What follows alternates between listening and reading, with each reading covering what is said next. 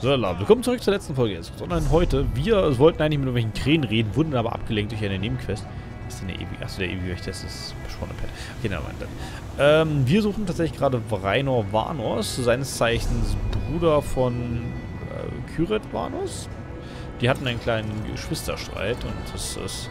Naja, der gute Rainor möchte gerne was alleine erkunden und jetzt verfolgen wir ihn halt, weil das, ähm, naja, das ist, ist halt irgendwie. Wir sind halt ein bisschen extern und dann kann man da vielleicht ein bisschen Wogen glätten, weil der gute Reino scheint ein wenig aufgebracht zu sein, wie das bis jetzt alles so gelaufen ist mit der Anerkennung generell überhaupt. Und naja, Neramo ist jetzt vielleicht, das Neramo war immer ein bisschen komisch und jetzt ist halt mit Reino, das gefällt ihnen halt eigentlich, weil das beides so Deckertypen sind, die eigentlich wie Ruhm für sich haben wollen und zwei Stück auf einmal davon ist halt Eindringling! Halt! Halt! Sprecht oder werdet gepickt! Okay, aber das ist falsch, weil ich wollte doch eigentlich mit ich wollte doch eigentlich Rainer suchen. Ähm, da wären auf jeden Fall die Kriegen gewesen, mit denen ich sprechen möchte. Die auch bestimmt total witzig sind, aber mit denen wir uns heute wahrscheinlich nicht mehr beschäftigen werden. Einfach, weil es uns die Hauptquest weiter vorantreibt und das ist, ich versuche eigentlich... Ich hier immer so rum. Ich versuche ja immer irgendwie alle Nebenquests vorher fertig zu machen, oder zumindest so viel wie möglich, damit ich hinterher nicht irgendwie das Spiel einmal durchgespielt habe, also durchgespielt. Vor allem bin ich hier nach fertig, ne, nach der Stadt der Oberwerke. Danach kommt erstmal nichts, was ihr so angeht. Da muss ich was Neues überlegen. Weil das, dieses große DLC, also L2, das kommt ja erst im Mai, Juni oder wieso? Das dauert auf jeden Fall noch eine Weile. Und das ist bis das Dark Brotherhood DLC habe ich jetzt nämlich auch erstmal alle, wenn ich die Stadt der Uhrwerke durch habe.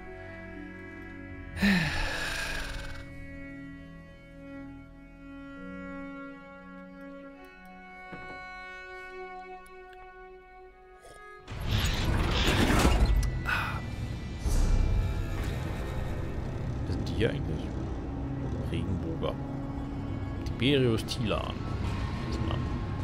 Ach ja, das da hinten sind diese komischen Dinger, die wahrscheinlich bei diesen Verti-Dingsbums sind. Die Windkraftwerken. Der Rhein überblickt bestimmt die Landschaften von einem Aussichtspunkt, oder? Das ist, ja, das ist doch hier diese dumme Ecke, wo man nicht wieder hochkommt. Muss ich ganz vorsichtig sein. Wenn ich dieses Wert runterspringe, komme ich nicht wieder hoch.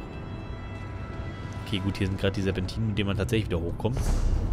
Aber sonst kommt man hier mega behindert hoch. Na gut guckt sich jetzt an. Hier ist jemand. Hier ist erstmal weit und breit nichts. Hallo, Reino. Grüß dich. Tiret weiß meinen Beitrag zu unserer Partnerschaft nicht zu schätzen. Sie denkt, ohne sie wäre ich verloren. Tja, der werde ich's zeigen. Mein überlegener Intellekt überstrahlt ihren Wagemut und ihr Draufgängertum mit Leichtigkeit. Doch was führt euch hier heraus, meine Freundin? Naja, das, das, ich, ich dachte, ich helfe dir mal ein bisschen, weil dein Intelligent auf jeden Fall nicht Wagemut und Draufgängertum überstrahlt, aber das kann ich dir jetzt so nicht sagen. Ich dachte, ich helfe dir ein bisschen. Das ist ein großzügiges Angebot. Doch ich finde euer plötzliches Erscheinen irgendwie zu passend. Hat meine Schwester euch mir hinterhergeschickt? Sie glaubt wirklich, ich wäre ohne sie so hilflos wie ein neugeborener Skript, oder? Ähm, kann es nicht auch sein, dass ich nur einen Freund aushelfen möchte? Außerdem, wer würde diesen Ort nicht erkennen wollen? Äh, ja, das, das, das ist genau ein alter Freund. Es ist ein faszinierender Ort, Zack, nicht wahr? abgelenkt. Es gibt so viel zu sehen und zu lernen. Die Leute aus der Messingfeste haben mir von einer Reihe spannender Orte erzählt. Wir müssen einfach losgehen und sie uns selbst ansehen. Bei all den Entdeckungen, die hier möglich sind, schwirrt einem der Schädel. Sollen wir mit der Erkundung anfangen? Äh, ja, ja, können loslegen, bestimmt. Es gibt eine Reihe von Orten, die ich untersuchen will. Ich habe sie eurer Karte hinzugefügt. Geht voran und ich folge euch. Keine Sorge, ich werde euch jede Unterstützung bieten, die ich aufbringen kann. Aber ich muss gestehen, dass ich kein großer Kämpfer bin. Auf diesem Feld brilliert eher Kiret. Ey, das wird jetzt wahrscheinlich noch 20 Mal sagen, oder? Äh, wie, wie sind die eigentlich überhaupt hier gelandet? Ihnen ist hoffentlich bewusst, dass sie nicht mehr wegkommen. Auf die gleiche Weise wie ihr, würde ich meinen. Wir suchten unter Gramfeste nach den Ruinen von Bamts Amschend, als wir auf eine winzige Stadt im Innern eines Uhrwerklobus stießen. Ich brauche nicht zu erwähnen, dass ich schon auf den ersten Blick wusste, was ich da vor mir hatte. Vom Schrumpfen wurde mir allerdings etwas mulmig. Und das ist dein noch von Luciana? Streng, körperlich einschüchternd. Um ehrlich zu sein, mache ich mir bei ihrem Anblick fast in die Beinlänge. Wusstet ihr, dass sie früher einmal eine kaiserliche Kampfmagierin war? Während der remanischen Dynastie ging in irgendeinem Krieg, in dem sie kämpfte, einer ihrer Sprüche völlig daneben und schleuderte sie durch Raum und Zeit. Muss schon eine Weile her sein. Oder sie ist halt echt alt, ne? Äh, Ja, gut, wir wissen, dass auf die Weise herkommt, wir haben sie gefragt. Am Ende ja. Sotasil fand sie. Sie war schwer verletzt, doch er heilte sie, indem er einige ihrer Körperteile durch Uhrwerkmechanismen ersetzte. Seelensteine treiben diese Teile an, sowie jeden anderen verzauberten Gegenstand auch. In ihr wurde so viel ausgetauscht, dass sie praktisch unsterblich ist. Äh, was ist denn... Ja gut, der Ramo ist wirklich noch ein bisschen pushy. Gut, der bezeichnet doch alle Leute mal als Assistentin, ne? Sie findet auch, ich wäre stur, gesellschaftsfeindlich und eine echte Nervensäge. Stimmt ja auch. Ich gebe zu, dass ich mich Neramus Führung untergeordnet habe. Er verfügt über Erfahrung und Weisheit. Qualitäten, die jemandem seines Alters auf natürliche Weise zukommen. Jedes andere Verhalten von mir wäre respektlos gewesen. Das ist... Ja, genau. Es ist gut, dass ich die freie Nachfrage stellen kann, wie er wieder zurückkommen möchte. Die Weit für hat angeboten, uns hier heraus zu teleportieren, sobald wir dafür bereit sind. Das wäre also eine Möglichkeit. Ich plane allerdings für den Fall der Fälle, unseren eigenen Weg hier rauszufinden. Sobald ich Kiret bewiesen habe, dass ich sehr wohl in der Lage bin, einen Ort allein zu untersuchen. Mit eurer Hilfe natürlich. Aha. Ja, gut, das ist gut, dass man nicht von der Gnade von Divide abhängig ist, um wieder rauszukommen. Ja, und die Stadt der Uhrwerke, soll ich jetzt echt hier runterlaufen? Achso. Besuche die Resonanzsphäre. Na gut, dann machen wir das halt mal. Nee. Das hat ja nur 13.000 dieses kostet da uns. Ich muss wahrscheinlich nur eine höher, oder? Was ist denn die Resonanzsphäre? Ach, die Resonanzsphäre ist bestimmt die komische Bubble, die da, die ich lag, wo ich mich noch beschwert habe, dass hier alles total kaputt ist. Übrigens, äh, nebenbei äh, erzählt Steffen im Chat noch ein kleines Trivia. Man äh, tötet äh, nicht einheimische Tiere in Australien, indem man die mit Naturgift, mit, andersrum, indem man Giftköder auslegt, die Gifte benutzen, die dort, also Naturgifte halt, und da, weil die meisten Arten, die dort halt hausig sind, gegen das Zeug äh, immun sind. In Neuseeland gab es anscheinend vorher keine Ratten. Also, warum macht diese komische Sphäre die Geräusche? Warum liegt die ja nicht mitten im Schlamm? Also wirklich. So, Rena, was zur Hölle ist das? Ist euch die perfekte Symmetrie aufgefallen? Die totale Rundheit der Form? Und die Art der Reaktion auf einfache magische Impulse? Unglaublich! Wenn ich mich nicht irre, ähnelte der Klang der Glockenschläge denen, wie sie auch in der Messingfeste ertönen. Ja, aber wofür ist die gut? Die Anwendung von Magie auf die Sphäre löste eine Klangreaktion aus.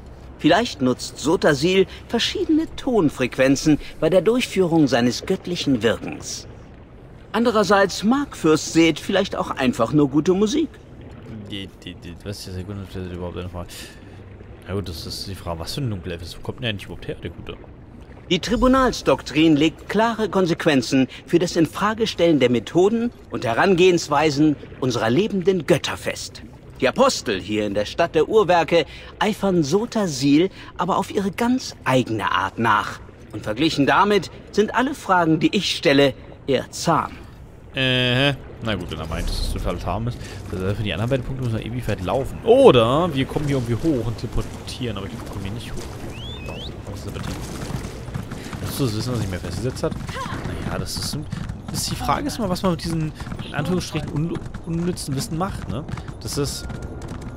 Wenn man genug un unnützes Wissen angesammelt hat, ist es halt immer ein ganz gutes Smalltalk-Problem. Also ich habe zum Beispiel Probleme, irgendwie tatsächlich sinnvollen Smalltalk zu führen, dass es halt irgendwie seicht bleibt. Und so unnütze Fakten sind dafür immer ganz lustig. Da kann man nämlich so, so pseudo-philosophische Diskussionen oder zumindest Überlegungen anstrengen. Das ist toll. Äh, vielleicht gerade mit den Tiertypen oder nicht, aber das ist ja ist halt immer ein Gesprächsgegenstand, mit dem man ein paar Minuten umbringen kann, wenn, wenn einem nichts anderes einfällt.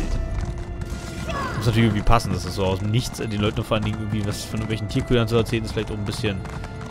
Ist das das Rheintal? Warum heißt es da nicht Rheintal? Ich suche ja immer noch diesen komischen, diesen komischen, äh, den Pro Pro Prognostiker. Den ich aber leider irgendwie.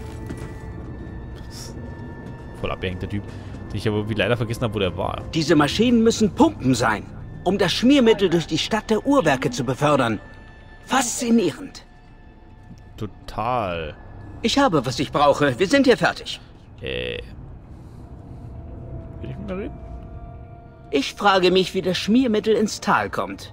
Jedes Mal, wenn ich eine Frage beantworte, treten drei neue an ihre Stelle. Tja, das ist, ähm, welchen Zweck dient das rein? Vor allem ist das, wieder, das ist ja alles wie über mich kompliziert aufgebaut. Freut mich, dass ihr fragt. Ich gehe davon aus, dass es eine Korrelation zwischen dem Schmiermittel und dem unausweichlich in der Stadt der Uhrwerke anfallenden toten organischen Material gibt. Das muss ja irgendwo hin. Ich spekuliere, dass diese Pumpen das Fett durch die gesamte Anlage verteilen.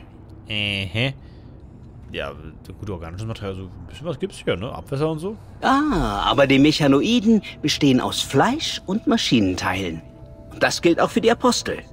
Wo die Dwemer schon wahre Meister mechanischer Konstruktion waren, ging Fürst Seth einfach noch einen Schritt weiter und brachte lebendes Material ins Spiel. Kiret? N nein, vergesst es. Aha. Ich glaube, er fängt an, seine Schwester zu vermissen. Na gut, äh, auf zum nächsten Punkt. Ich meine, nicht, was so schwer ist, mit Leuten zu sprechen. Mit Leuten zu sprechen, das ist eine Sache. Da muss man natürlich immer das richtige Opening finden. Ich habe auch Schwierigkeiten, mit Leuten zu reden. Vor allem mit den richtigen Leuten. Ich habe zum Beispiel in der Stadt hier noch keinerlei Freunde. Leipzig heißt die Stadt übrigens. Ist ziemlich groß. Liegt aber auch daran, dass ich einfach faul bin.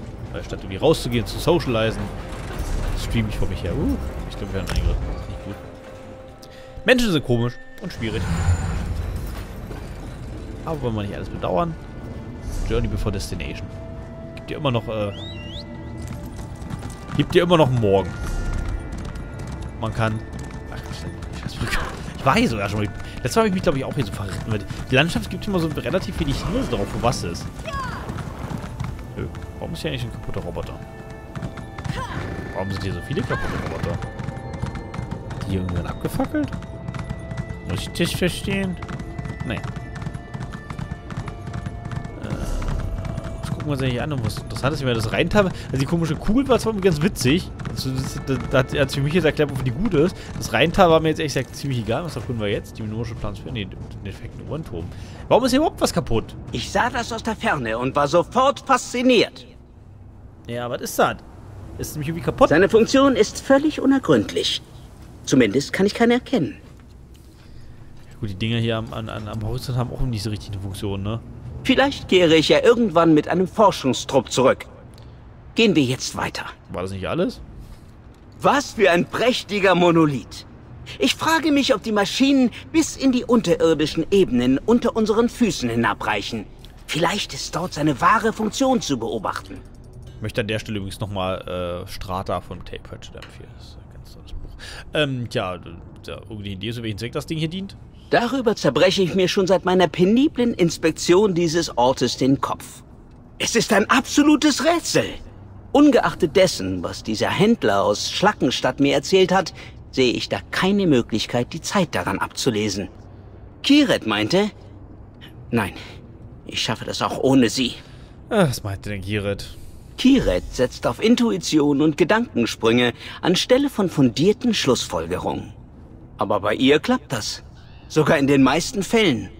Sie glaubt, der Turm wäre Teil eines gewaltigen unterirdischen Mechanismus, der die Stadt am Laufen hält. Ich schätze, das ergibt wohl Sinn. Und jetzt? Wir müssen zurückgehen, damit ich Kiret sagen kann. Verdammt. Ich fasse es nicht, dass ich all das hier meiner Schwester nur wegen eines blöden Streits vorenthalten habe. Oh. Sie hätte hier dabei sein sollen. Nicht, dass ich eure Hilfe nicht zu schätzen wüsste. Denkt das bloß nicht. Aber Kirit und ich, wir gehören zusammen. No. Na gut, das ist... Ach, ist es nicht traurig. Er bereut so viel. Das tut es wohl. Hm? Ich bin mir nicht sicher, wie ich da weiter verfahren soll. Die Feinheiten des Miteinanders sind Kirets Stärke, nicht meine. Sie ist meine Schwester und wir sind ein Duo. Wir arbeiten gut zusammen. Aber sie hat sich einiger harscher, kränkender Worte bedient. Was meint ihr? Tja, das ist eine Entscheidung. Vielleicht, vielleicht, wie ich höre, die Geschwister, äh, vielleicht... Nein, das ist, das, ich werde hier vereinen und nicht teilen. Also, ja, ja, wissen lassen, dass das Ihr habt ist. recht. Ich kann mehr Größe zeigen und mich entschuldigen. Schließlich bin ich ihr älterer und schlauerer Bruder. Oh, er ist schlau. Kehren wir zur Messingfeste zurück. Vielleicht könntet ihr zuerst mit ihr sprechen und nachhorchen, wie es Kirit geht? Ohne mich ist sie wahrscheinlich ganz verloren und verzweifelt. Bestimmt. So wird es sein. Oder sie liegt gerade besoffen in einer Bar und wartet auf, dass der Typ zurückkommt langweilt sich halt hart. Können wir diese Berge da hinten eigentlich besuchen? Die sehen eigentlich interessant aus. Das ist das andere Zeug hier. Wahrscheinlich bestehen sie nur aus Schnee und haben sonst nichts. Siehst du, das macht so ein bisschen, das macht so ein bisschen unsere Welt aus, ne? Eine künstlich erschaffene Welt hat halt irgendwie den Nachteil, dass sie genau wie das Map-Design von welchen, von welchen Spielen, dass es halt ein Ort ist, wo es Punkte gibt, die noch nie berührt wurden von irgendwas. Wohingegen die echte Welt, egal wo du hingehst, selbst in den höchsten Bergen des Himalaya, findest du welche Leichen mit lustigen, bunten äh, Dingens. Einigen von den Leuten sind sogar Landmarken. Gibt eine Höhle mit einem Typen mit gelben Schuhen drin. Oder gelbe Jacke. Also selbst in der letzten Ecke waren irgendwo schon Leute. Selbst in der Wüste ist wahrscheinlich, wenn du lange genug buddeln würdest, würdest du irgendwelche Überreste finden. Also mitten in der Landschaft. Oder zumindest wirst du relativ schnell was finden. Das halt irgendwie faszinierend. Das halt alles irgendwie schon mal was. So viel zu entdecken. So, jetzt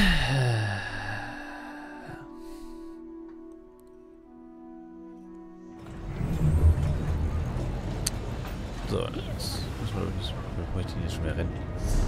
Äh, ich bin auf der falschen Seite von dem Gebäude. Oder? Isanir versteht das nicht. Kajit? Argonier? Die sind auch Apostel? Nun, die nehmen jeden. Oder nicht? Es ist nicht wichtig, wer man ist, sondern nur, was man kann. Nicht, dass uns das irgendwie helfen würde. Nein, wir Schlackenstädter sind alle Schrott. Das ist aber sehr deprimierend. Das ist äh, sehr positiv von euch, Freunde. Kann ich reiten? Ich kann nicht reiten. Na klar kann ich reiten. Ist ja nicht so, dass man das mal vergisst. Ich kann übrigens nicht reiten. Das ist jetzt nicht so die riesen Überraschung, aber ich kann heutzutage schon noch reiten. Außer irgendwie, keine Ahnung, der weiblichen Nachwuchs von irgendwelchen Leuten, die geht haben. Oder auf dem Dorf wohnen. Ich glaube, so, glaub, so reiten könnte so eine Tasse, klassische Dorf, Dorfmädchen-Geschichte, ne? Meine eine Ex-Freundin konnte auch reiten. Die hat auch irgendwie ihr Pferd liegen. So Leute, die in Städten leben, die reden nie davon. So wie Leute, die früher in meiner Grundschulklasse, die kamen auch alle mal von, von irgendwelchen Dörfern, die, die haben auch alle geritten. Und das, wie ist denn das hier? Äh, nicht Bibientina, äh. Hab's auch so, so, so ein Mädchen, Kinder-Dingsbums mit, mit Pferden. Fanden die alle ernst toll, toll. Da bist du. Ich war krank vor Sorge um dich. Ich denke, ich sollte voll mit dir reden. Oh, achso, jetzt reden wir mit ihr. Hallo. Ist alles glatt gegangen? Ihr seid doch nicht etwa auf Ärger gestoßen, oder? Rainor braucht ständige Aufsicht, insbesondere in Ruinen und an anderen uralten Orten. Er ist außerordentlich schlau, aber er verfügt kaum über praktische Fertigkeiten und lässt sich leicht ablenken. Sind wir eigentlich auch nur ein Gegner begegnet? Ich bin allem ausgewichen. Äh, der, der Bruder möchte sehen. Ist das so, ja? Nun, ich hätte da auch noch ein paar Worte für Rainor. Wir sind Partner. Und Partner lassen einander nicht im Stich, wenn der Wind mal etwas rauer weht. Sei es drum. Danke, dass ihr euch darum gekümmert habt, ihn unversehrt zurück hierher zu bringen. Ich weiß das zu schätzen. Stiefel des Entdeckers. Rainer schusterte dieses Paar Stiefel aus Ersatzteilen zusammen, die bei der Erkundung der Städte gefunden haben. Na klasse, weil ja auch so ein guter Schuster ist da gemacht. Ja, Christoph. Kiret, ich... Nun, es tut mir leid. Ich hätte nicht so davon stürmen sollen. Es liegt wohl an dem ganzen Metall. Davon kriege ich Ausschlag. Oh. Mir tut es auch leid. Ich habe einige unangebrachte Dinge gesagt und unfaire. Bei diesem Neramo stehen mir die Haare zu Berge, weißt du? Es ist die Art, wie ihr redet. Aufgeblasene Worte und diese Schnöseligkeit. Klingt wie noch jemand, den ich kenne. Nun erzähl mir schon, was du entdeckt hast. Erzählt er jetzt noch was? Anscheinend nicht. Ich glaube, ich muss mein Interface mal putzen. Dieses, dieses, das habe ich mich darüber nicht neu schon mal aufgeregt, dass dieses polierte Aluminium erst den Nachteil, dass das Staub so schön in seine Ritzen einlagert. Das ist total schwierig sauber zu kriegen, wenn man nicht aufpasst. Das ist zum Kotzen. Naja, wie dem auch sei. Ähm, vielleicht kannst du kurz über unser Gespräch mit den Tränen beim nächsten Mal. Das werden wir nämlich beim nächsten Mal haben. Äh, in der nächsten Folge, wenn es dann wieder heißt, erst. So, nein, macht's gut bis dahin. Ich wünsche euch was. Ciao.